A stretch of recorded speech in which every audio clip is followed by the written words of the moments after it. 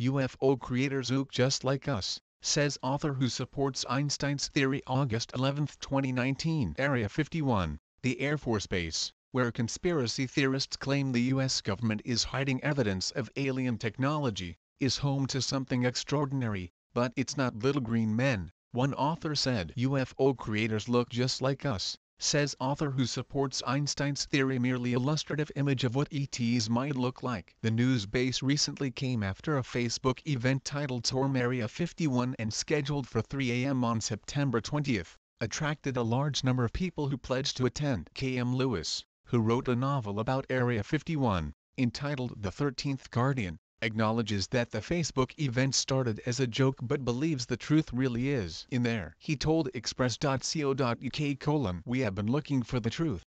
But the wrong truth, in my opinion. According to some researchers, Albert Einstein, an avid student of the UFO-UFO phenomena, once said that UFOs are man-made flying machines, built by a very advanced ancient civilization that left Earth 20,000 years ago for some unknown reason. It's a crazy idea, but my research suggests it's not as unlikely as you might think. Lewis, who said he had researched the subject for 10 years, added I believe something may well have fallen into Roswell slash Area 51 but I don't believe the occupants were little green men. They look like us because they are our distant and distant ancestors. The question is, what happened to them? Why did they leave the Earth? That's why I believe there is so much secrecy. Extraterrestrial technology in the Area 51 turns out to be quite terrestrial. What if all these futuristic sci-fi movies flying cars, warp speed intergalactic travel, teleportation, etc. are not the future but the past? While doing my research, I was so shaken to my core that I thought the only way to tell the story was through a novel The Thirteenth Guardian. If you listen to what Albert Einstein said,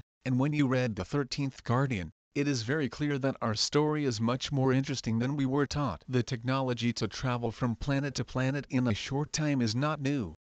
It is forgotten. We've done it before, but a long time ago. Our ancestors, people like you and me, were much smarter than we recognized. The idea that some of our ancestors left Earth for some unknown reason, according to Einstein the reason they left is the premise of the 13th Guardian, would explain why our planet is so special to them. It is the home. UFO creators look exactly like us, says author supporting Einstein's theory 1 Lewis's online biography, published on his book's website, www.thirtentguardian.com, describes him as having lived in various countries of the world and speaking several languages. He also states that he is a graduate of one of the universities featured in his book, and when not writing, he works as a management consultant with clients on nearly every continent. Lewis currently resides on the east coast of the United States with his family, adds his biography. Perhaps in consideration of the explosive nature of his claims,